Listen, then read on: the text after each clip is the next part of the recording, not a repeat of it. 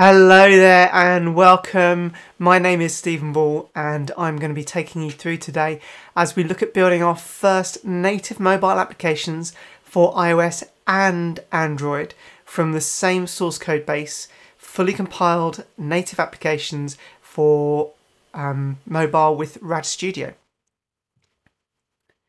I say my name's Stephen Ball. If you're watching this on demand, then please feel free to drop me an email uh, if you're watching it live, then go ahead use the um, the chat panel that's available to you right now, um, or you can follow up with me afterwards. I'm quite happy either way.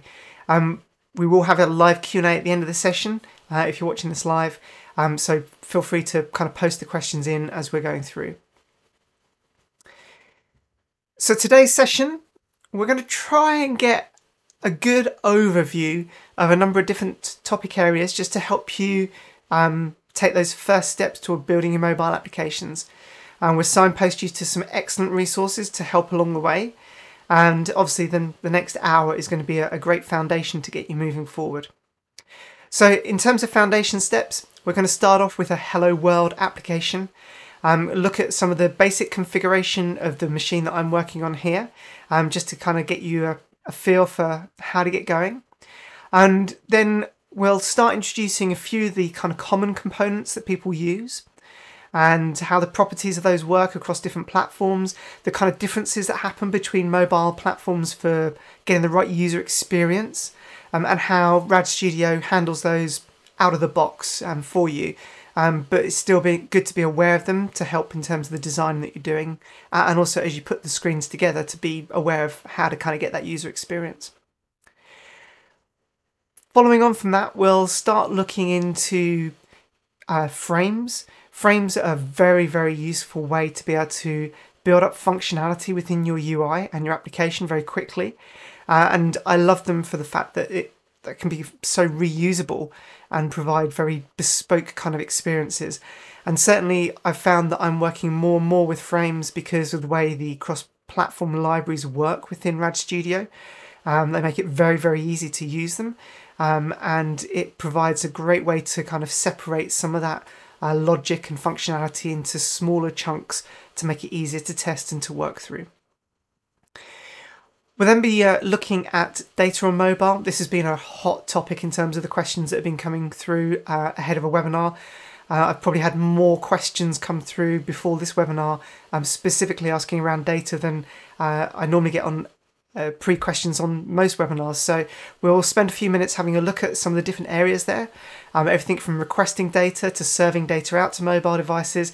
And we'll also have a couple of minutes just to talk about some of the legislative issues and challenges that you need to be aware of when building mobile applications. Um, following on from that, we'll have a look at app deployment. Um, so when we've got files and data and images and sounds and things that we want to deploy out into the applications, how we go around doing that, and then also how we then take those applications that we've been building to package them together and push them out onto the App Store. Now, as we go through some of the steps today, we'll be building brand new applications and we'll also be having a look at an application that I've written that, that is published on the, the App Store's been there for you know, over a year now uh, and is really, really popular within the, the basketball community, which I'm basketball referee. So um, I'll explain a bit more about that as we go through. Um, but we'll see real world examples of applications working um, and how to kind of get those pushed out. And how a lot of it is all within Rad Studio um, directly for you to access. At the end, we'll have a look at some of the next steps. Um, we've got some great resources to link you to, um, uh, and also kind of some uh, places to go learn some more. Um, because, as I say, it's impossible to deep dive into every single topic that we're going to cover today in the hour, um, but we'll do our best to get through as much as we can. So let's start off with my platform. So my platform here, I have a Mac. I'm running on a Mac. I have a Windows 10 virtual machine. Uh, I use VMware. Uh, you can use VMware or Parallels um, for virtual machines. And the reason I'm running on a Mac um, is it means I've got a single computer to work with. Um, and to run applications out onto the Mac and onto the iPad and the i uh, well onto iOS, um, you need to have Apple hardware somewhere. Um, so there are some services with it in the cloud. They're quite slow to work with. Um, I like everything local, um, so hence I'm using my local machine to be able to deploy um, out to my Mac and then onto the device. And the way Rad Studio does that is there's a little program here we can see set out called PA Server, uh, Platform Assistant, um, PA. And uh, PA Server just opens up and runs. Um, your IDE, you just point the IP address to your Mac um, and it connects up to your PA server with the password that you've set up on it.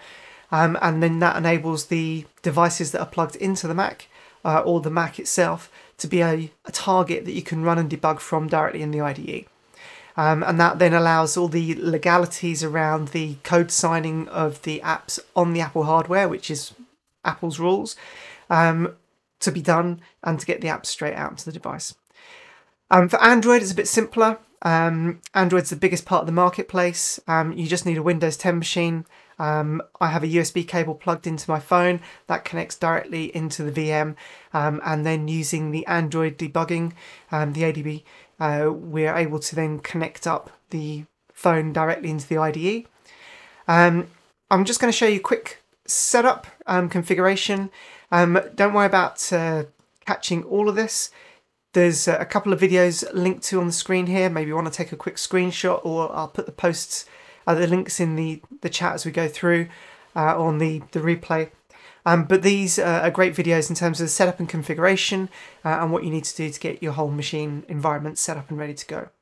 Um, for Apple, you will need to be part of the Apple Developer Program to run out onto the physical devices. Um, that's just you know, Apple's rules. Um, for Android, you can just set your phone to developer mode and, and off you go without having to sign up for anything. Okay, so let's jump quickly into the IDE. Under Tools, uh, under here, Manage Platforms. If you're setting up your IDE, when you install, you'll see the screen come up as part of the installer. If you miss it, then you can just come in here. Um, I've already installed the Android and the iOS platforms. Um, the other thing for Android, uh, make sure you install the SDK um, and the OpenJDK unless you've got the um, a JDK installed already.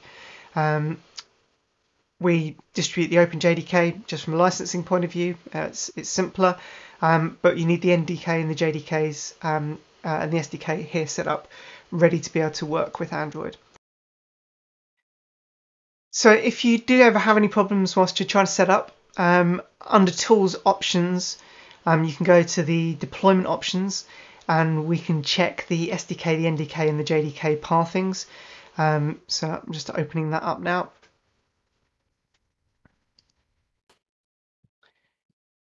So here under deployment, SDK manager, you can see we've got the Android um, distribution uh, platform set up. Uh, and then here we just got all the pathings. So if there's any of these, you've got a little warning sign next to them, then that's something to go and have a look at and just check the pathing to make sure that you're pointing to the file that it's it's requiring. Um, and then that will then be able to get you ready to go. Okay, so that's a very quick look at the, the setup and configuration. Um, the other thing I would say is if you're deploying out onto the Mac, you will need to find PA Server. Um, so the PA server is installed in the uh, well, the installer for it, should I say, is available in the application installation directory. So let's just go ahead here and go to see uh, program files x86. There we are. Um, so I've got my Embarcadero Studio and the version, and then the PA server folder. And here you'll be able to find the package for installation on Mac. Um, there's also the Windows version and the Linux version if you're deploying out onto those um, machines and, and, remotely pushing files uh, or um, running the application and debugging remotely as well. Uh, PA Server is a very cool tool, um, but the installation you need for the Mac is just there. So say just go install that on the Mac, next, next, next, finish, um, and then just from the command line, um, you just need to go and launch PA Server. so let me have a quick look. I think I might already have it running, which I do, so let me just close that over here. And let's just type in PA server. And you see it opens up, asks for the password. Okay, we're good. I can leave that there for a little bit later on. So let's build our first app. So I'm going to go ahead and go File, New. multi-device application.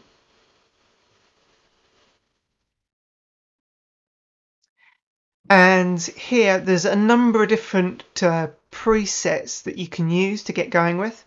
As a master detail one, as a blank application, as a header footer. Um, I'm going to use just a, a blank one because I want to show you some of the bits around as we go through. Um, if you want to really speed up your application development as well, there's the FireMonkey low code wizard, um, which is available as well. Um, and I'll show you details of how to get that added to your IDE. Um, that's an option in GetIt um, that's recently been launched. So let's just go ahead and create a blank application here. So to start our application, um, I'm going to add in firstly a, a toolbar because uh, I want to have a nice little label at the top here. So pop that one in. Uh, I'm going to put a label into the toolbar. And I'm going to align the label to the contents. So under FireMonkey we have a whole load of different types of alignments. Um, center, client, um, contents will fix it to the full width and um, regardless of other controls that are added into it and I'm going to go and change the uh, text settings here. Um, we can change the alignment. I'm going to set this to center. And we're just going to say hello world app. And uh, let's go ahead now and I'm going to change the style lookup. Now there's lots of different style lookups here available for a label. I'm going to put this as a tool label. And what we'll see is as we look through different platforms here we can see it's kind of slightly changing its look and feel. And in fact, if we add a normal label onto the form here, just in comparison, we can see specifically that there is slight difference between the platforms. You know, for iOS, it's a lot bolder. Um, Windows, it looks pretty similar. Okay. So let's go ahead and add uh, an edit control in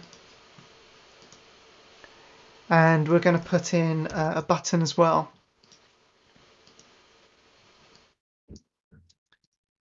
Now I'm, what I'm going to do is I'm just going to align these all to the top. Uh, with the toolbar, uh, I'm going to make sure this always stays at top. I can set this to most top.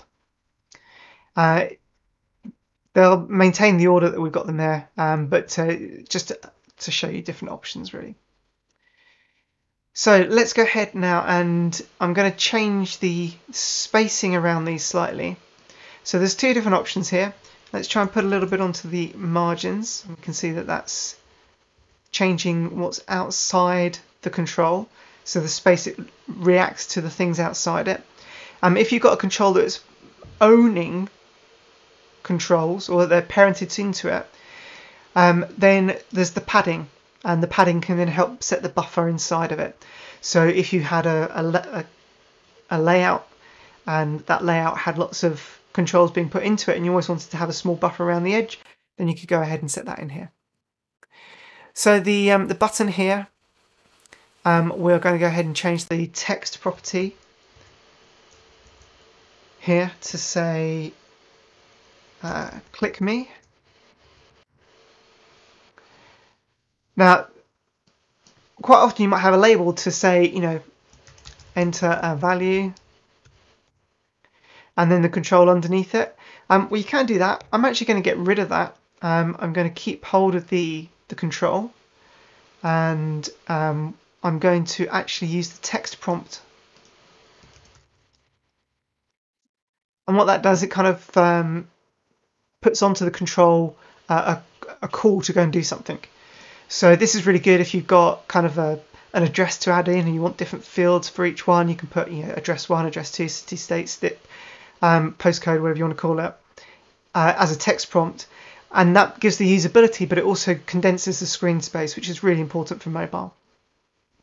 Um, the other thing that you can do with the edit controls here, um, we've got this set to the default keyboard, um, but there's a number of different keyboards that you can use. So if you had an email um, field that you're entering in, then you could put an email address in there. If it's a numeric field, um, then you could change this to a number pad or a number pad with punctuation uh, or a phone pad. You know, so quite a few different types of uh, keyboards that can be uh, used, um, and all you need to do is just set the property for it. So here we're just going to leave it as a default keyboard, and we're literally just going to do a show message here.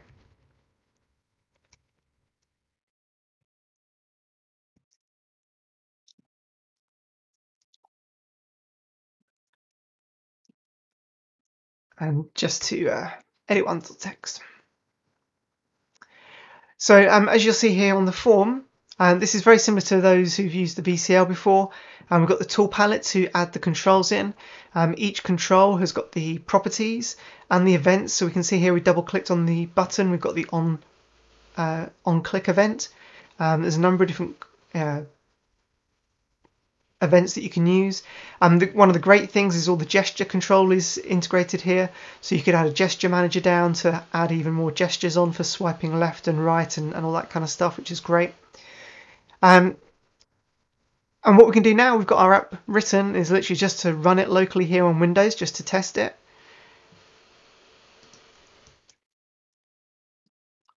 Hello world to hello. Uh, I'm just going to put Stephen. Hello world to Stephen. That's all working great.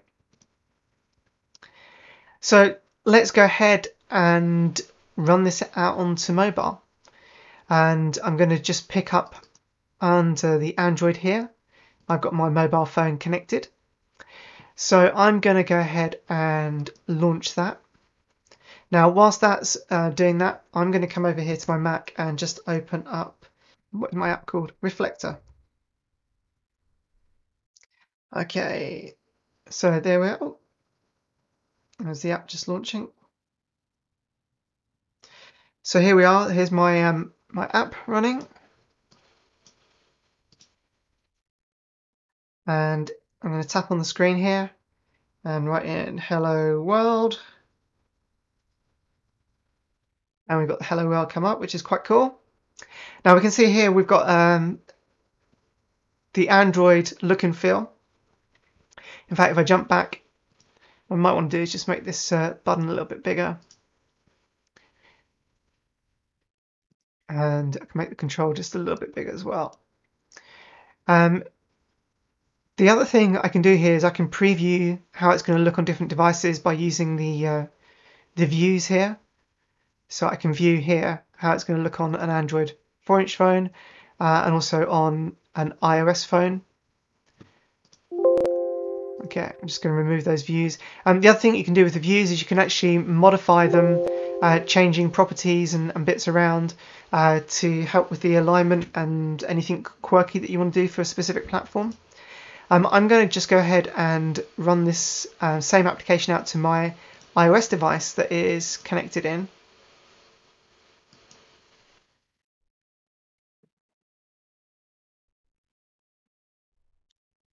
And I'm going to set up my screen mirroring onto my Mac as well.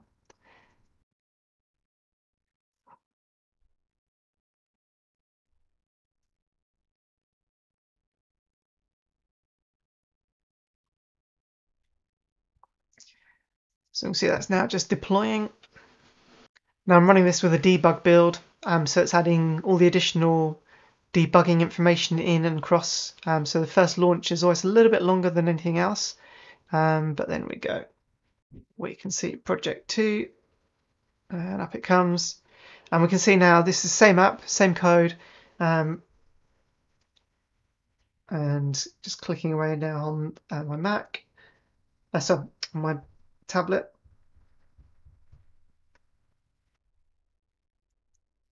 So yeah, pretty good all all running quite nicely. You can see the differences in the message box. These are all kind of the native. I'll try to click on it. Use my fingers might help. Um, so good. You can see our very first Hello World app, and, and already we're seeing, without having to do anything in the uh, in the code, we're getting kind of the platform variances as we should do. Okay, so first app done. Um, I just want to explain a little bit about how some of that stuff works. Um, so what makes you know Delphi very different is we've seen the components. Now the components basically are wrappers around lower level APIs.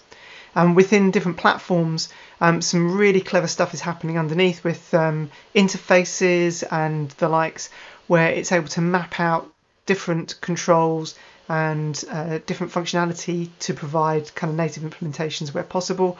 Um, or it uses kind of styled versions um, uh, to kind of get the stuff through. Um, one property I didn't actually point out quickly here on the control is there is um, where is it? Control type property here. Now at the moment this is set styled, um, which means it's going to use the the theming. Um, we can set this to platform. Uh, and that'll then render a platform specific version. Now that's great for most instances and you'll see in the IDE you get a little um, icon appear to show that this is going to be the, the, native control. That can add additional functionality around um, you know, text to speech and, and stuff like that. Um, but it does draw back some of the additional styling that you can do and user functionality bits that you can add in. Um, but uh, either is you know will look exactly the same if you're not using kind of a, a completely different style within your application other than the default platform style. So let's jump back to here. I say the the way this works is is really really clever, um, giving great flexibility and functionality, especially if you start looking into things like the accelerometers and the cameras and uh, a number of other things. Um, but that's basically what's providing a single code base. Now, um, I'm just going to quickly point out that there's a whole load of additional samples. So under the welcome page, uh, if you go ahead and open a sample project, you can start digging into the UI controls um, and all the different functionality around, you know, kind of the language and, and bits like that. Um, just jump into the Object Pascal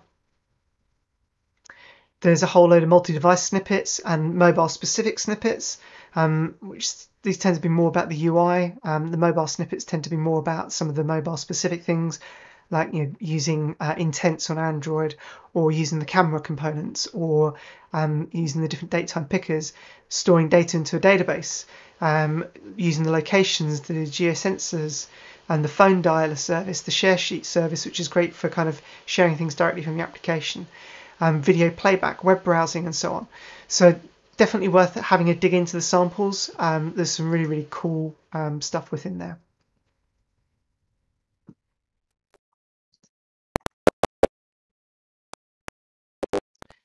I mentioned at the top there's the new low code wizard. Um, if you don't see that, then open up the open up uh, tools, GetIt package manager. Um, within the GetIt package manager, you just need to install the FireMonkey low code wizard. And once that's installed, you'll then see the additional menu option for the FireMonkey low code um, wizard within the multi device section when you go File, New, Other, um, Project Type. Uh, and then that pops up these three windows. You literally just put in a project name, choose the account setup, the um, application routines that you want to have, uh, and any additional kind of elements around contacts and empty form and so on um, and then hit finish and that will then produce you the application um, with all the kind of frames and all the other kind of bits uh, built in. So I want to jump on straight into the next bit, have a look at using kind of the tab controls, having a look at the master detail layout, um, text prompts and the keyboard and, and so on. So um, we kind of touched on the text prompts already, but let's have a quick look at a few of the other things.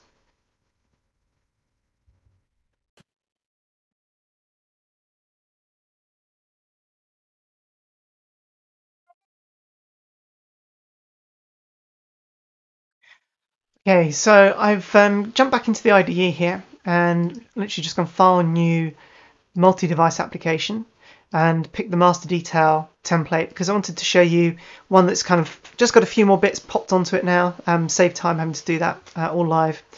Uh, one of the controls that we have down here is a non-visual control and this is the prototype bind source.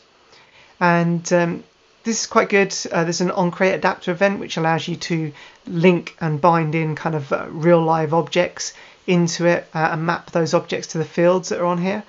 Um, we've got just some default names for fields that have been generated using the default generators that are within here.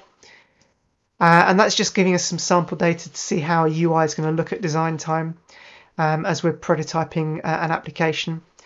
Um, the other thing that we've got on here, uh, we've got uh, an action list, and the action list has got in here two events, live binding events for moving to the next and the prior record. Um, and these are linked to the prototype bind source to help you navigate through. And uh, we've got a button. This is just a normal speed button here that has been um, set to have a style lookup. So style lookup is a detail tool button. Uh, and now it's looking like a hamburger button here. If we go and have a look through different platforms, we can see how these buttons are going to style and look differently in different places accordingly to the, the platform. In terms of the data from the prototype bind source, um, one thing about the FireMonkey applications is that data is bound using live bindings. Um, so any control can be data aware, any property on control can be data aware. Now the prototype bind source has got this sync connected to keep the bind source and the controls in sync as you would do with a normal data set really. Um, and then it's just got the bitmaps linked to different fields um, and to the uh, and also into kind of the uh, the list view um, that's here. So let's go ahead and have a quick look at this on Windows.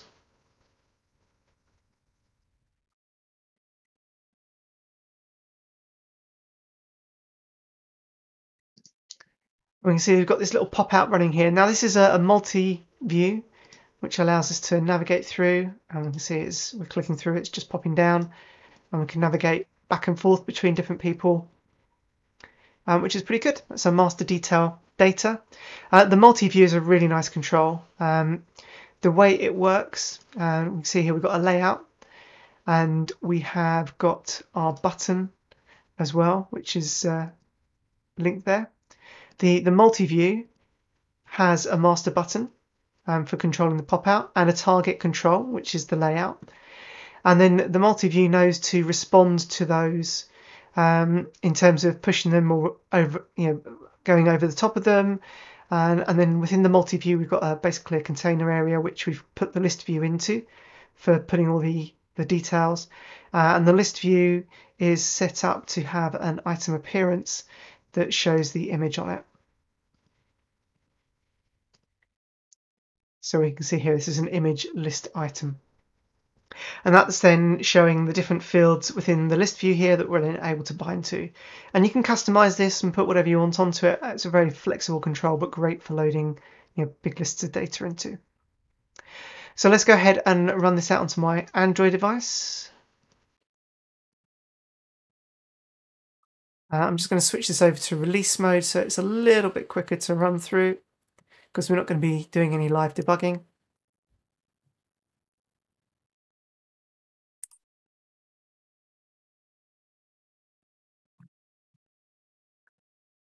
So let's uh, see if I can just get my screen back over here.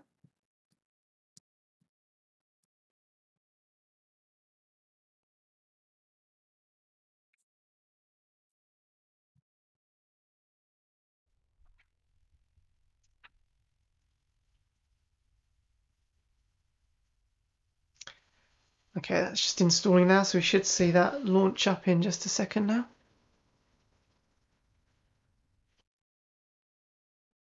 And here it comes. So we can see here the same application. I can navigate through the different people. We can see the images changing, the text changing. And if I click the detail button, we can see the list pop out.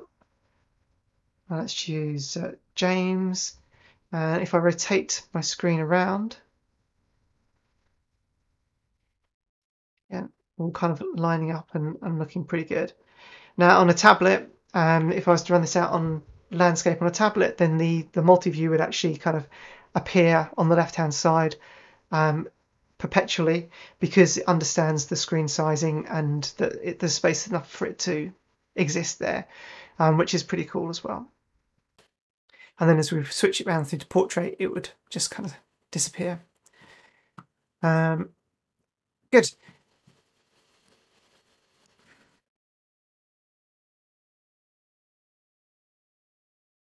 Okay, so we've had a quick look now at the tabs. We've seen the prototype bind source. We've seen the master detail.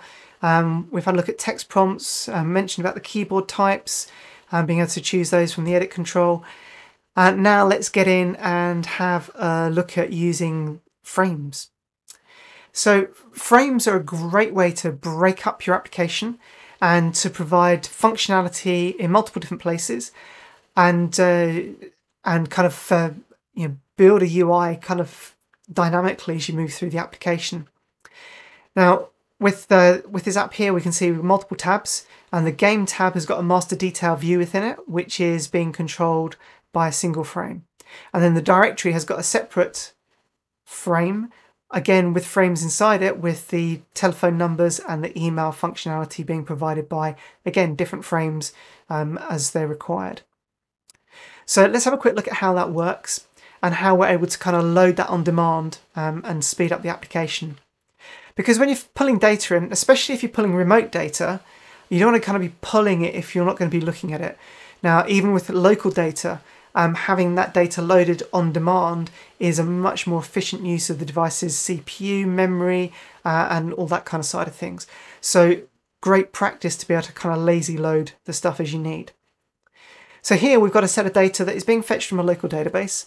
We've got uh, a, a, game between here. This is the University of Hertfordshire um, versus Brighton, and we've got a tip time and a date, and we've got a division. Um, that it's running in and we can see the master list, kind of the high level view of what we want to click onto. Now this is a dynamic layout on a list view, which then when you select one, it's then going through to the detail tab. So again, this is, we can see here we've got a tab running. Um, and the detail, again, this is a number of frames um, that I've got a layout for, and then a list view underneath with additional information about who is part of the, the crew for that game. So let's have a quick look at that in code. So here's my my form.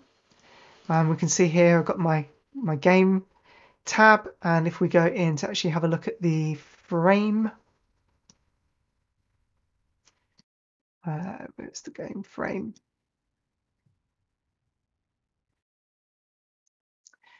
So the style is applied as it's parented into the main form. Um, so we don't have any styling in here, which is quite, yeah, it's fine. It's quite useful. Um, we can see here now we've got the two tabs for the match and the match details. Again, these tabs are hidden at runtime. So one of the things that I often do within my forms is actually override the constructor and put a form create in. So here we do a constructor create, um, passing in the A owner and just do inherited create on that. Um, here I've got a special option for a premium edition, which is part of the in-app purchase within the application, which then just helps set up the, the details of what's going on with the frame as it creates. So um, within the form hit, or sorry, the frame, uh, the list view, again, this is dynamically created. And we can see here the item. I've added in a number of different uh, uh, items on here. So you can add a new one in here dynamically and set the type that it's going to be, if it's an image, a text, or a checkbox, or so on, um, and then name it. Uh, and by naming those, I then make it easier to kind of uh, link the bits together. This is all being fed from a, a query that's run. So here's my base query. Um, and uh, I then use the field editor to add all the fields in. And I've also got some calculated fields. For example, um, the status color is a string field that's calculated at runtime. Again, that provides specific detail for the record. Some parts used on the list view, some used in the detail. And for example, here, uh, if we go ahead and bind uh, visually,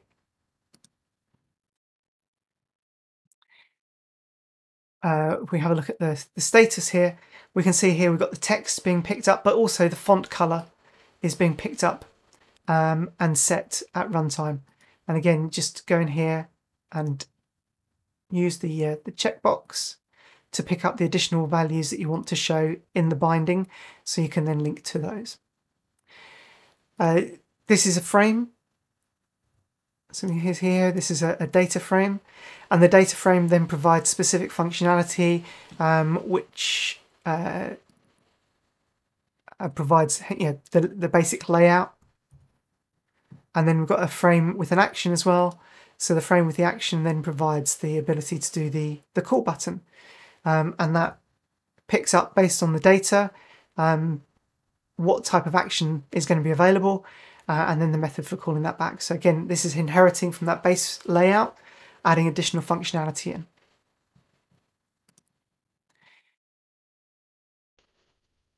Um, if you're creating frames or you want to add frames into your project, um, file new other, and uh, if you just type in here frame,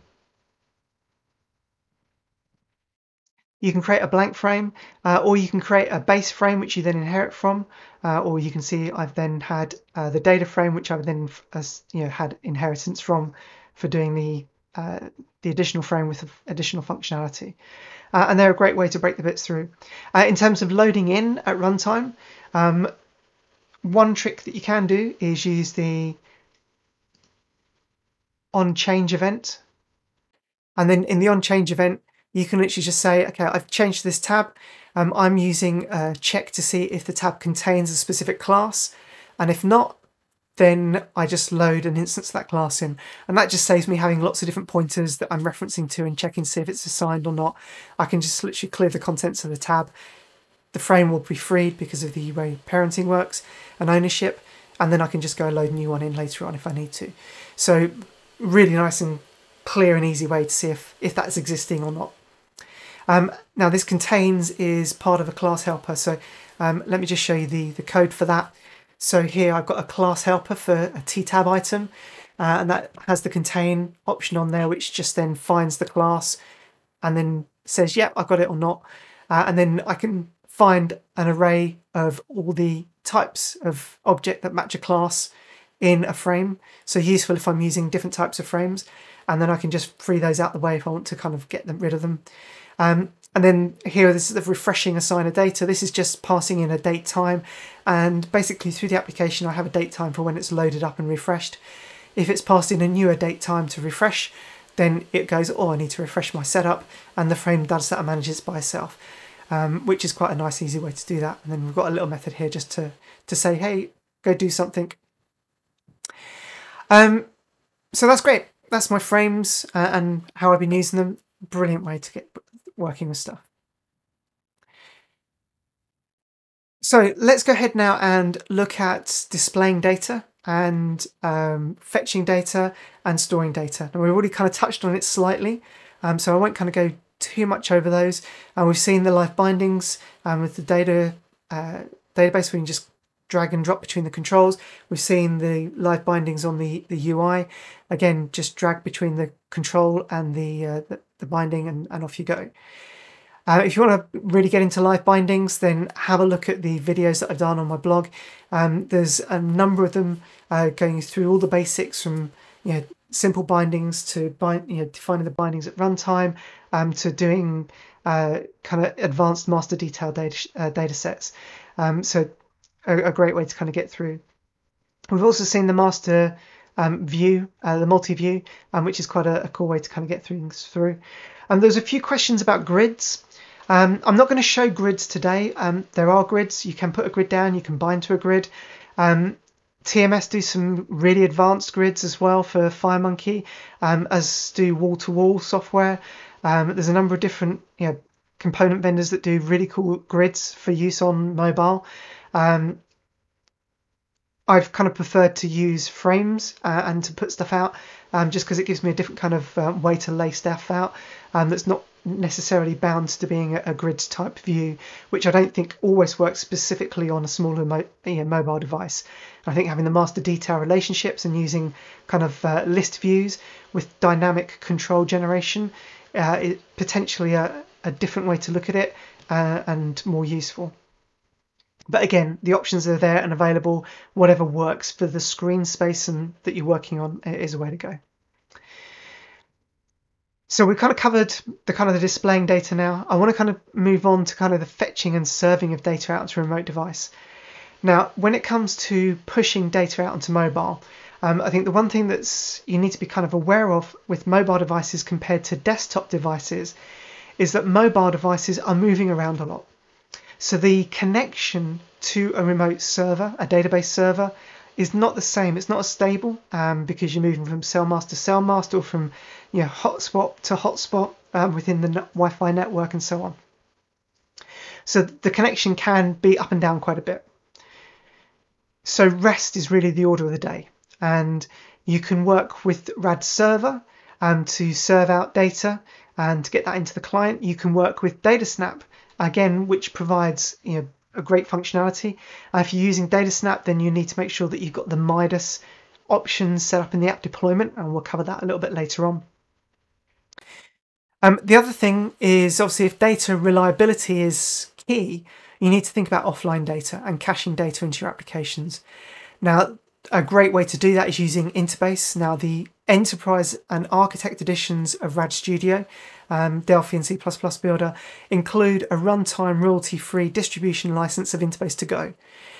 Now, Interbase to Go contains the award-winning Change Views feature, which allows you just to basically set up a subscription against your database tables, and then uh, when you connect in and you need to push data back, just to start the subscription, run the query and get exactly what's changed at a field level in the table, and you can then push those changes back, um, which is phenomenal. Um, you can also use change views on a remote server to be able to pick up customized changes of centralized data to distribute back out to the remote device, um, which means you can reduce the payloads that you're pushing around.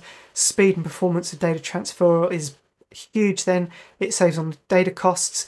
Um, and you know it really helps you scale to tens of thousands of remote devices in a way you just can't do with any other you know, central data store. Uh, Interbase to Go also um, is really secure, um, provides on disk encryption, um, which again, if you're using and storing any personalized data, is absolutely essential from a legislation point of view, um, as we're kind of mentioning here in terms of the storage of data. Um, so offline data is really, really handy um, for just kind of working with um, data, especially if you're having to cache the same stuff regularly. Um, so Interbase is a great option for that.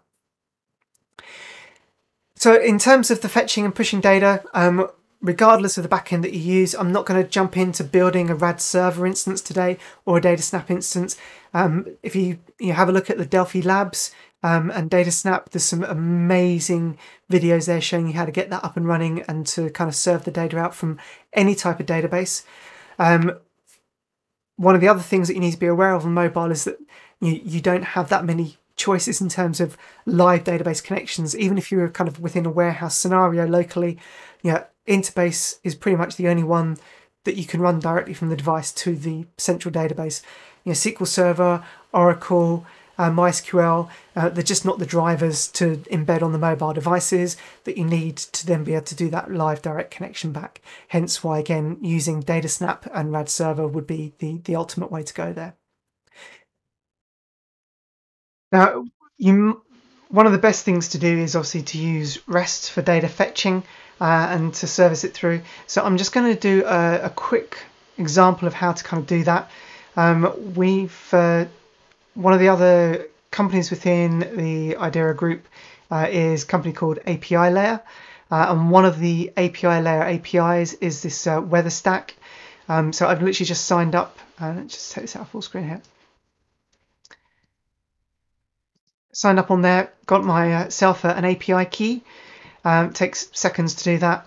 Um, and then uh, in the documentation here, I can see there's a simple request, um, passing my API key and running the query and get New York. So here, if I run that, I've just set this up with uh, the query for London. And we can see that there's a request, a location, and a current, um, providing different information bits that I can potentially use. So a uh, great way to get that into RAD Studios by using the REST debugger. So uh, here we've got uh, the REST debugger, and I've literally just copied, uh, to open the REST debugger, just go to Tools, uh, REST debugger, uh, and it'll open up. Um, I copied the API weatherstockstack.com uh, base URL in, And then under the resources, I've put the current, and that's because the resource we're calling is called current. And then the parameters, uh, access key and query. And I could add those parameters in here if I wanted to to make changes to them. Uh, that's you know, certainly doable. Uh, when requesting it, I can see here now I've got a request, um, a location name, and current, and that kind of matches up in terms of what uh, what we see on the actual API when it runs here. You can see the request, location, and current. Um, and the, the location weather icons is an array, and so is the weather descriptions. Um, so let's go ahead and just uh, pick that up. Uh, I'm going to copy this set of uh, components and I'm going to do a little bit of jigging here uh, just to make this a little bit cooler. So first of all, um, the response here is pulling uh, data back. So I'm just going to check my uh, root element here. This is just pulling everything back into a single array. So I'm going to go ahead and change my root element to the request. And let's just make a copy of these. We're going to need a couple of copies. Uh, there was the request. Uh, the other one was the location and current. So let's change this one to location.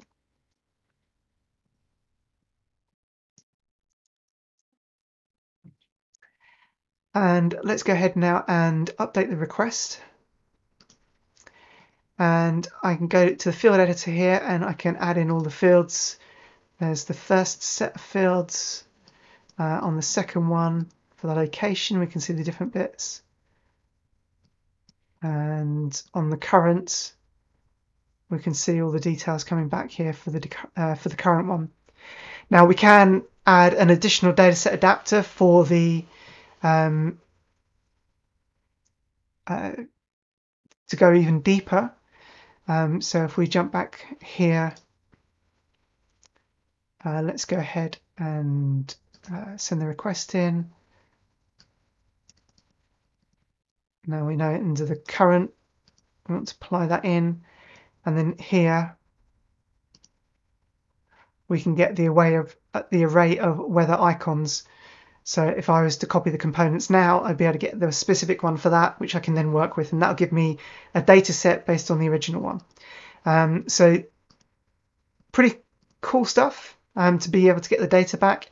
And again, in terms of building the mobile UI, just do what you learned already um, call the rest request one dot execute. We do that as a single button call, uh, and then just bind to the controls. So um, let's just bind to these um, controls here quickly. Uh, region, uh, so bind visually. Region, link to a new t-edit control. Um, let's uh, humidity link that to a new edit control. And uh, maybe wind speed link that to a new edit control. Let's just hide the controls off the screen for the moment. So we can now see we're starting to get our data in um,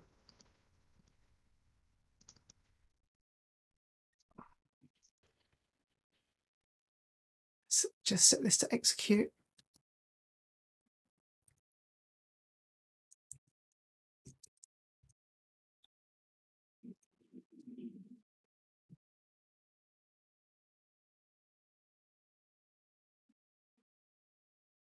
Uh, there we are. We can see the um, the data's come straight through, which is pretty cool. Humidity of 42, wind speed of 11 um, for Greater London at the moment. Okay, so on to the last quick summary, really. Um, I say pretty fast paced to try and get through a lot today. Um, when it comes to having built your application, um, then you're probably going to have files that you want to deploy with the application. Um, under project deployment, then you can add in files to deploy. Um, here for the uh, app that I showed you earlier, the basketball one, um, we have a shot clock which has an air horn um, that sounds when the timer runs out. Um, and I have that in my folder utilities shot clock um, from where the project is built. Um, and then there's a file for air horn 3GP, which runs on Android, and the WAV file that runs on all the other platforms. So if you select the platforms that you want, you can add the files in, and then you can say you know which platforms that file is there for. Um, but the key thing about selecting the platforms is to set the remote path. So for default, um, if you set them to assets internal, that's the kind of the documents directory for Android, and to set up documents uh, is kind of the documents directory for uh, iOS. Uh, and then you can do something like this here. So um, here I've got uh, multiple different you know, files that I load in, um, and uh, I just pass in the base part of the name, and then I apply the extension because I know the extension is going to be the same for each of the file names. So I have a method that I just, you know, if it's on Android, then I set up the file to be 3GP, and if it's on iOS, I set it to, or anything else, I set it to be WAV. And then I just check to see the file exists, and then if it does, I set the media that's passed in to have the file linked to it. Um, now, the great thing here, I'm using tpath.combine. Now, this is part of system.io utils, and that then allows you to bring together this documents path along with the file with the correct delimiters, if they're forward slashes or backslashes, um, uh, and that kind of brings, obviously, the base part here with the file. Now, if you want to put it somewhere else, you can change the path as you set it up here, um, and that will then copy those in. Um, the other thing I mentioned earlier about um, DataSnap um, was um, Midas. Um, so you need to be able to enable the feature files.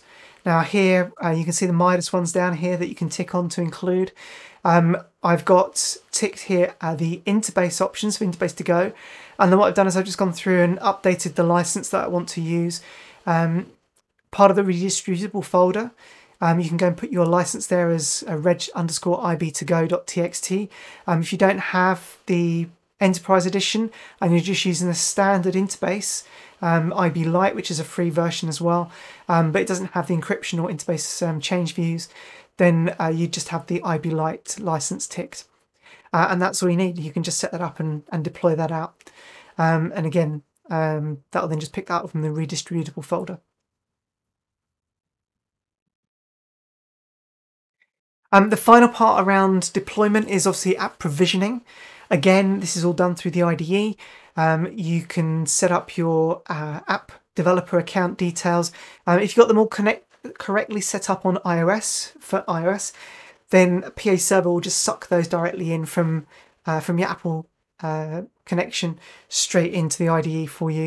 And you just need to go into the provisioning, and uh, it will automatically detect it based on the application and the um, uh, the details that you set up for the device identifier within uh, RAD Studio. Uh, and then uh, off it'll go. It'll pick the rest of the bits up for you pretty quickly. Um, if you've got a, a, generic wildcard one for testing, um, it can pick that up, or you can override that here again. Um, so that's that's pretty cool. Uh, again, under project options, under the deployment provisioning. Um, for Android, for Android, obviously there's the key file store. Um, you can create the key file that you need in here. Um, just make sure you save those usernames, passwords down. Um, keep them somewhere safe um, because if you lose them, then you're you know, you're stuck. Um, but that's great as a way to generate the key file store. Uh, and then once you've done that and you've signed it, um, you can uh, distribute those directly up to the uh, the packages that get built when you choose the provisioning profile of App Store within the IDE. Um, so under here, if we go to target, uh, you can do the configuration of App Store here. Uh, if you build and run out for the App Store, um, same thing for Android, then obviously it will then just produce the uh, the distributable file that you need to then upload to the App Store, um, which you do in the normal way.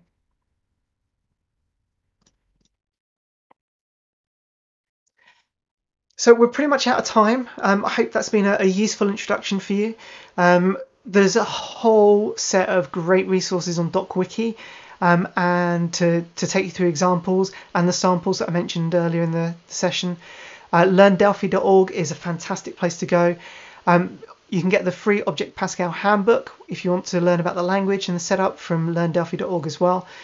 Um, also, keep an eye on the YouTube and the Twitter accounts um, from Embarcadero Tech and Embarcadero TechNet. Um, they're a great place to go and uh, keep up with the new stuff that's coming through, and the blogs as well, blogs.embarcadero.com.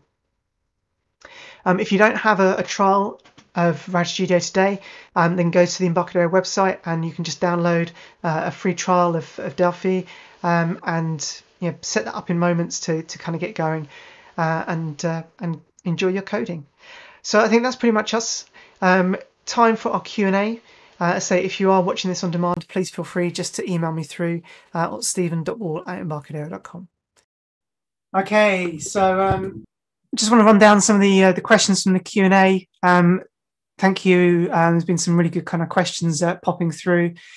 Just to answer um, one of the ones here, um, the app that I was showing, uh, yes, I do have in-app purchasing uh, integrated into it.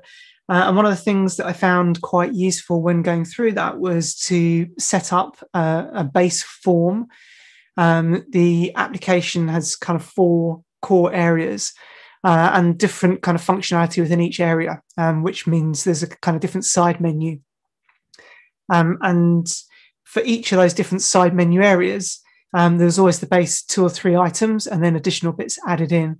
So uh, having the base form, which then had all the kind of the callback API integrations for the in-app purchasing, then made that very, very uh, easy to work with, and then just override that on the inherited version. Um, and then you kind of get the notification through when that happens all the kind of core logic happens automatically for you uh, and then you just need to do the the form specific element of it which is quite quite easy um, in terms of uh, other questions that we had here um, the compilation for android um, a couple of questions um, one around 32 and 64 bit um, so uh, the both the app stores now require that you submit 64-bit versions. Uh, in fact, iOS is um, only accepting now 64-bit versions through.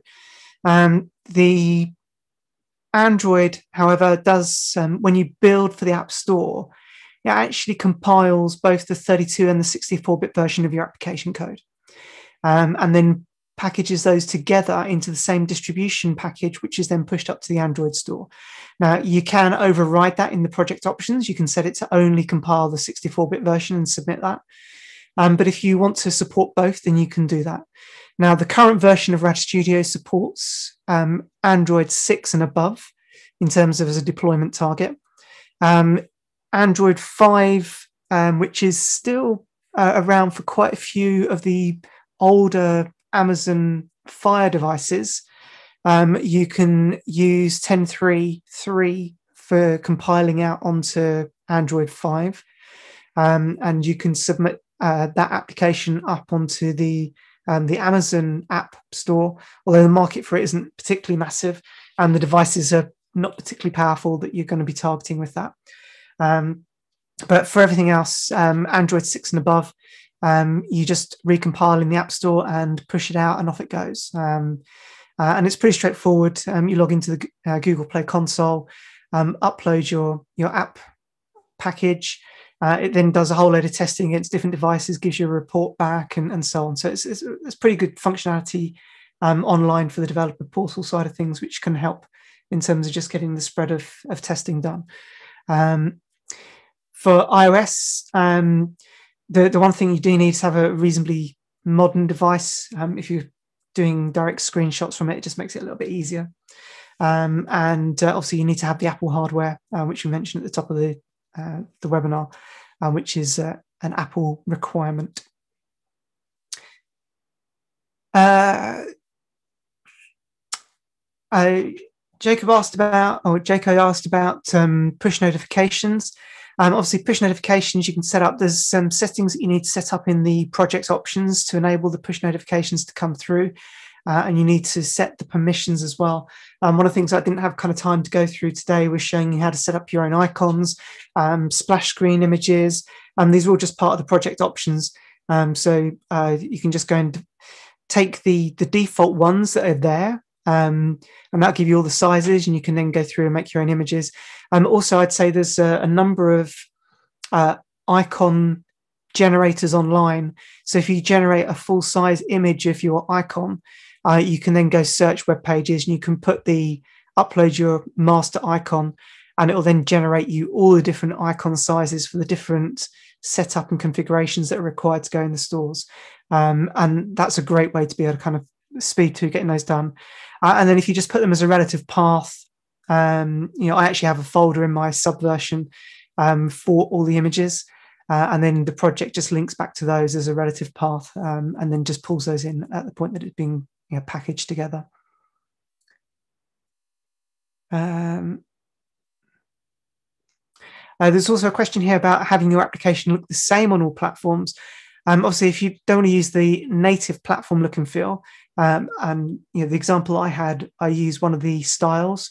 Um, so I've done, I've used the style book, and there's each form has a style book property, which you can choose to define which style book the form's going to use, uh, and you can load multiple styles into the style book as well. Um, but obviously, the more you put in there, the more kind of size it's adding to your application. Um, and then yeah you can use that and, and run that off so it'll look the same on each platform what i'd probably say is it's still probably worth using you know, the the smart elements of the controls like the tab controls with the positioning to be top or bottom um, because that's kind of what's expected by the users on that platform um, they're not going to be used to looking on ios at the top of the screen to find the tabs they're going to be at the bottom that's where they expect them to be so just from that usability if you are using a specific theme then I'd still look at using some of those default platform specifics. Um, Leandro asked about emulators, um, specifically for Android. Um, honestly, um, the Android emulators, I don't, you know, I think we actually officially support them. Um, uh, certainly, the ones that we've looked at in the past have been terrible um, because they're doing ARM emulation on Intel, and they've been really, really poor. Um, uh, so I, I, would definitely just kind of get an Android device. You know, uh, I've got one that I picked up off eBay um, that is relatively, you know, I, I, think an Android 9 device for about £100 um, that was kind of a few years old. Um, you know, keep an eye around. You can you can get some decent deals, um, and they're absolutely just perfect for testing on. Um, doesn't have to have masses of memory. Uh, so you can pick up the ones that people normally kind of throw away quickly because they want the ones with the bigger hard disk space, but they're absolutely fine for testing on. Um, I, have got a, a, few different devices now in my drawer. I call it my drawer of doom because it's kind of uh, the drawer. I have to kind of pull things out and plug them in all the time. Um, but uh, yeah, that, that's a, a great way to kind of test out onto some different devices. And I'd normally just say, you know, a few different sizes and a, a couple of different versions of Android uh, you, you, don't need to test on three different devices of the same version of Android. You know, that's that's just crazy. Uh, and iOS seems to really work quite well. And if you get the alignments and the the margins and the paddings, and you kind of start thinking around that kind of way, uh, if you start using kind of uh, a layout, um, one thing I was going to show in here today, and I I just missed out. Um, there's instead of putting a, a, panel down, which you would do in the VCL, you use a layout. If you put the layout down and then parent the controls into the layout, um, that's a great way to be able to kind of center a bunch of controls within a certain sizing and, and stuff like that. Um, layouts are a great way to kind of get things laid around. And if you get your layouts done well, then it'll dynamically size to the, the UI that it's running on, um, which is which is really nice. So. Um, just quick ask here about the configuration and setup. Um, again, uh, I run on a Mac with VMware um, Windows 10, and then RAD Studio installed on top. Um, and then that's it. Um, uh, I've got a base Windows 10 image that I have with kind of my version control software, um, Google Chrome installed because it's better for you know, development and testing with um, than kind of Edge, and just to be able to kind of see the XML and all that kind of stuff. Um, uh, and then, uh, yeah, every time I need to do a new setup and configuration. I just copy my base VM and then load RAD Studio into it, uh, and off I go. Um, question about kind of the difference between debug and release mode. Um, yeah, obviously the the debug mode um, produces the same executable, but with all the um, extra stuff for connecting and debugging, um, which you, know, you don't really want to deploy that into the real life world. You don't want people being able to try and connect up into your applications in the same way. So um, always deploy out using the release mode. Um, and uh, yeah, it'll just run a little bit faster. Um, question here about when to use frames and when to use forms. Um, I always find it best to use um, frames as much as I can. Uh, I tend to only use forms when I've got um, uh, kind of separate functional areas within the application. Um, so if I've got different side menus that I'm going to be running, then I might think about using a separate form, uh, unless it makes sense that I've got a specific area that all needs to be running the same thing. Then I might have a a specific side menu in a frame and then parent other stuff into that frame. So, you know, that's another way to do it. Um, it's really down to you which way you want to go. Um, you know, both ways are possible. Um, it, it, really doesn't make a huge, huge difference. The one nice thing about using frames and having a single form is you then haven't got forms to hide and reshow if you're kind of trying to deploy the same application out onto a desktop. Um, when you generate a new form on mobile, it just overlays over the top. So you can leave the other one hidden behind it and you don't get to see it, um, which isn't the same on uh, on Windows and Mac. So if you're trying to push the same you know code out to those platforms, then that might be something to have a think about. Uh, I think I mentioned the rest of those bits there. Uh, have a look at the other questions that just popped through. Um, answered that one.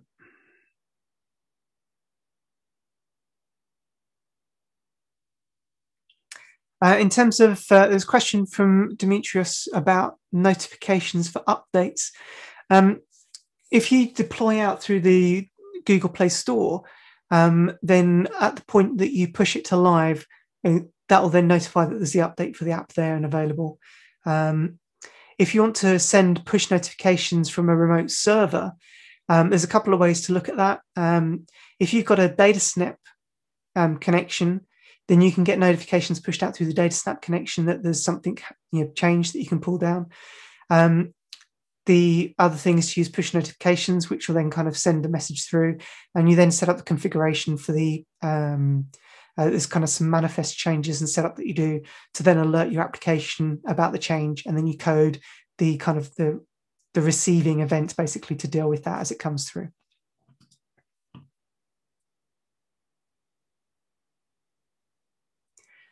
Um, so uh, there's a question here about installing Mac OS onto a Windows machine. Yeah, unfortunately, that's not possible because um, it comes down to the legal licensing to do with the Mac OS.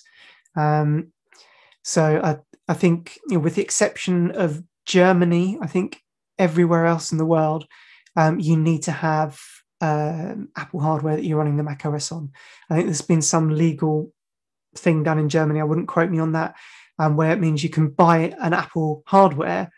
And as long as you bought the Apple hardware, you can then install the OS onto a Windows machine and use it, um, which is kind of like a, a weird thing. But um, that was certainly my understanding of what I've been told by others there. But um, uh, yeah, basically, it's down to the end user license agreement for the Mac OS, and you can't agree to that unless you're running it onto Apple hardware.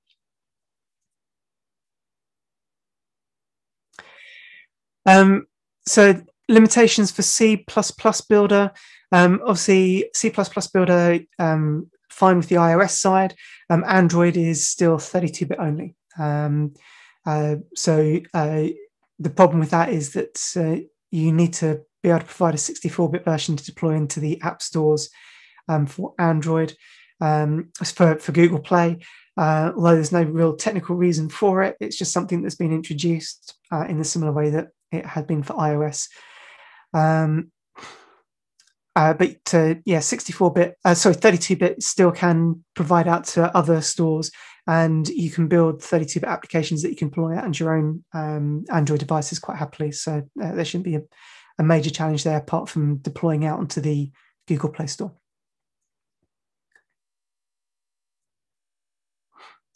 Um, there's a question here about um, classroom sessions. Obviously, the uh, the key thing uh, we mentioned about is learndelphi.org. Um, also, keep an eye out on the events on the Embarcadero events um, page because we quite often get sessions run. You know, I know there's been quite a few in the Nordics, um, which are done in English um, primarily. Um, so, uh, you know, people like Jens Fudge is doing a, a number of great sessions. Um, there's a yeah, but uh, yeah, the events page on the Embarcadero website is a good place to kind of keep an eye out for some of those.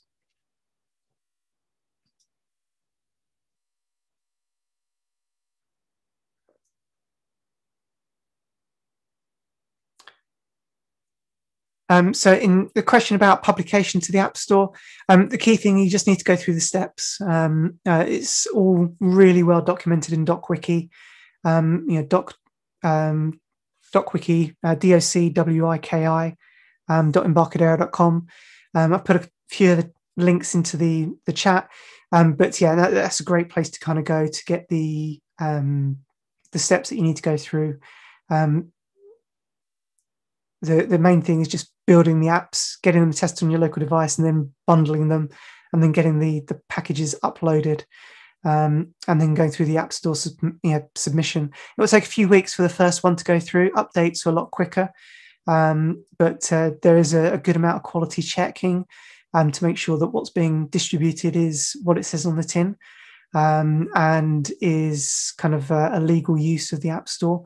Um, and once you're through that, then it's pretty easy to kind of get the apps um, pushed out for the updates.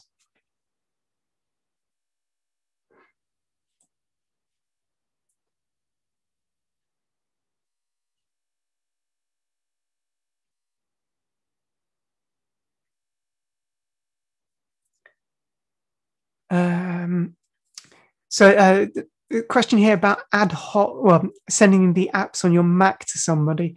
Um, I think uh, you might be alluding here to kind of ad hoc deployments.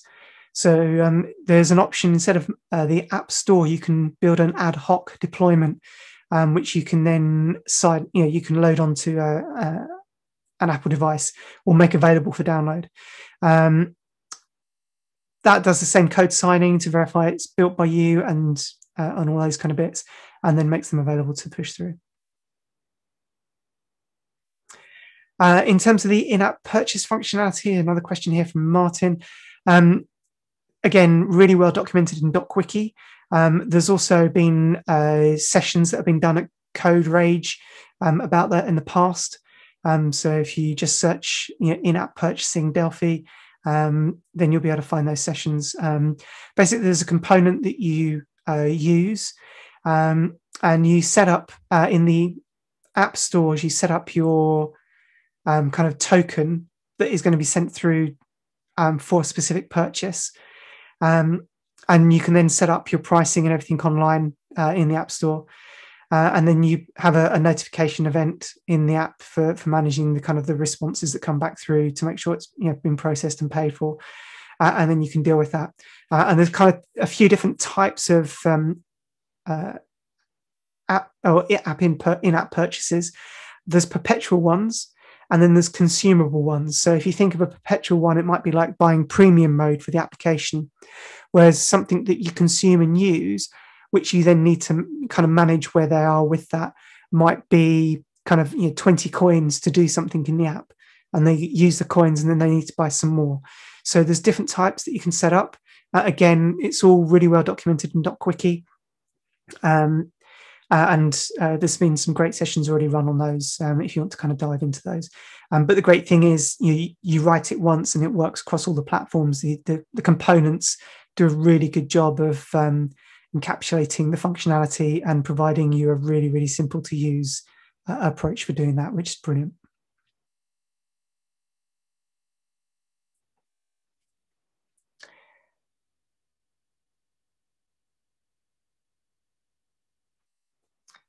Um, so a couple of requests around source code for the project that I showed. Um, the the project that I showed, I, I, can't unfortunately share the source code for that one, um, but uh, there is. Uh, I, I, will be doing some session, well, do some blog posts at some point around frames and how to use frames, um, and a couple of examples of using them um, because they are a, a, really really useful um, thing to do.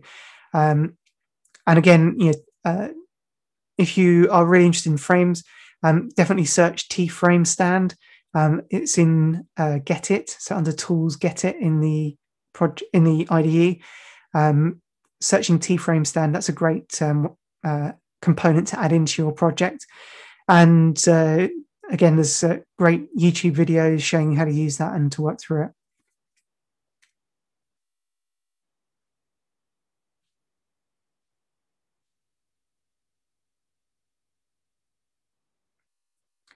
Uh, in terms of managing state, um, have a look at the form events. Um, there's a uh, you can pick up when the application's going asleep and, and, stuff like that, and you can deal with what you want to deal with there.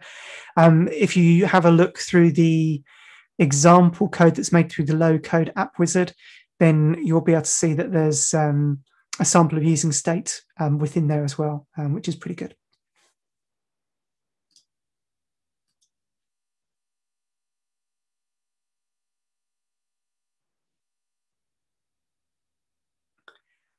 Um, in terms of the supported platforms, I popped a link into the chat earlier, um, but Android 6 and above uh, is supported, so it supports Android 11. Um, and uh, yeah, that's the answer to that one.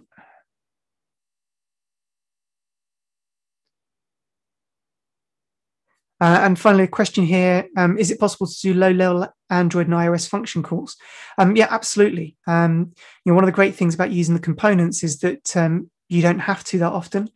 Um, but if you want to, you can. Um, so, for example, when you access the camera component um, on iOS, you actually get an iOS camera uh, API component back.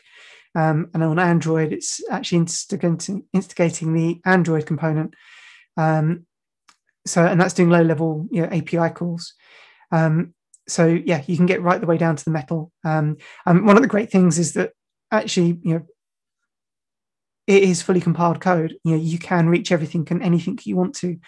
Um, the the way that the object oriented programming is being done, though, uh, means that uh, most of the time you don't need to. You know, uh, where these different um, platform interfaces are there, um, they've been wrapped up as object oriented interfaces, um, and then you can query to see if the platform that you're running on supports that interface.